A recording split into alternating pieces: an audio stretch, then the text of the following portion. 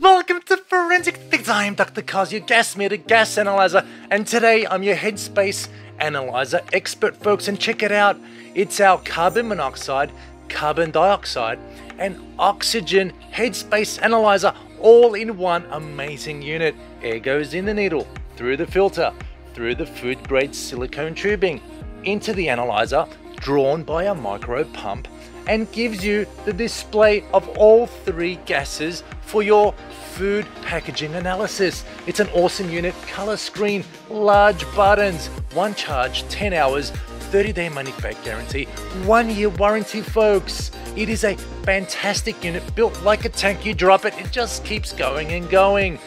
Happy, happy holidays and see you soon. Straight to the unboxing of our FD600 headspace analyzer, folks. Check it out. Just go and unclip this guy. Again, this is carbon monoxide, carbon dioxide, and oxygen. You will see a little pack with manuals and things like that there. But first, let's go forward and just turn it on because it takes 60 seconds to count down. And as that's going on, we'll be explaining everything step by step. So just press the middle button, that's the on button, and let that just come down from its countdown. All right, folks, so let's get back to it step by step. We're going to see everything that comes in the pack here. All right, in this pack over here, we have our manual folks very detailed manual and make sure everything that is ticked you have serial number and we stamp it folks making sure that everything is included again with it very important is our calibration certificate. Make sure it's stamped. And it's traceable. Very very important. Otherwise who knows what it's reading. And it's signed by our engineer. Very important to make sure your product is correctly calibrated. And we have our scepters folks. 100 scepters come with every headspace analyzer from Forensics Detectors. And a few reminders, folks, very important reminders. Any help, we're always here. Okay, let's put that on our side. Within the pack, we have our charger, our USB cable for charging and data logging. And we have three sets of needles, filters, and tubing, folks. Silicone tubing, food grade tubing. So let's put that on the side. Now, folks, as that's just coming up, look, some people love our stands. Dr. Kozep, where do I mount this thing? You have a few options. You could mount it with the magnet or you could mount it with the stand. That is sold separately for a few dollars and you could grab that. Now, real quick, color screen, carbon monoxide, carbon dioxide, and oxygen.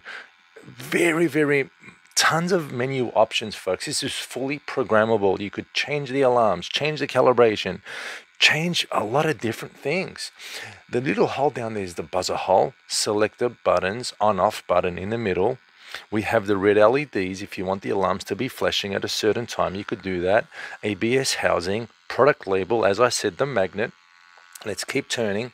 And at the top here is our little three millimeter barb. That's where we pop the tubing on and that's where air is being drawn. And over there in that little little hole there, that's our USB. That's where you charge and you do your data logging, okay? Now, folks, let me just pop that on the stand because I actually love these stands. These stands are quite nice. You don't have to hold it and it sits very nicely. So let's go through. Let's grab our needle, pop the cap off, and please make sure everything is correctly fitted, folks. Very important for headspace analysis. Everything has to be fitted very well. We don't want any leaks or any messing around, okay? So just pop that on. And as you could see, you could hear the pump being sort of stressed a little bit from the um, from the load coming from the small orifice of the needle. But that's very normal, folks. Very, very normal. Okay, we've got some sausages here today, folks. Some hot Italian sausages that I absolutely adore. You're going to pop the scepter. We have the scepters. Just I could even do it right now. That's the whole point, right? Let's do it. Let's do it. Don't say I did that already. No, no, no. Let's do it together. There's the scepter. I popped it off. You're just going to stick that on there. Give that a good, make sure it's firm, okay? You don't want that to be loose or anything like that. See that? It's getting annoying, isn't it? Well, you could even change the backlight or how long it's on and off. So that's, again, programmable, folks.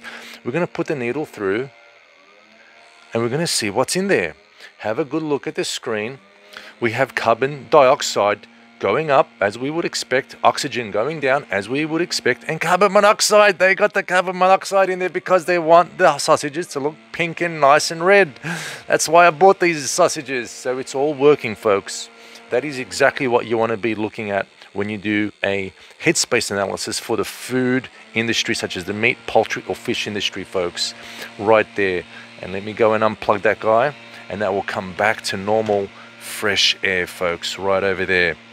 And let's go and untouch that guy folks. So that's basically it. What you just saw was a headspace analysis. Again it gives you real-time numbers of the actual product folks. Real-time numbers. We don't have any timers or any funny business like that.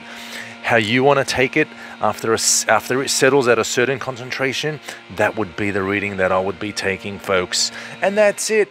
And that is it that is our carbon monoxide, carbon dioxide, and oxygen headspace analysis. Be well and be safe. See you soon.